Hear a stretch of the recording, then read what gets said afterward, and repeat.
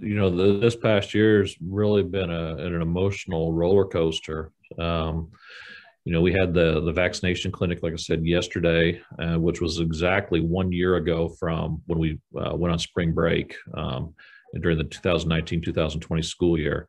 So, kind of an anniversary of the last time we saw students um, during that school year into the into the spring semester, but then one year later, um, getting the vaccine and you know when i talk about that roller coaster you know we went from online learning to to in-person learning over the summer and then um, the challenge of opening up school safely uh, for our students and our and our staff uh, in the fall. So had a lot of help from a lot of people within our organization, from teachers, uh, administrators, food service, uh, custodian, maintenance. Uh, we're all engaged in returning to school safely.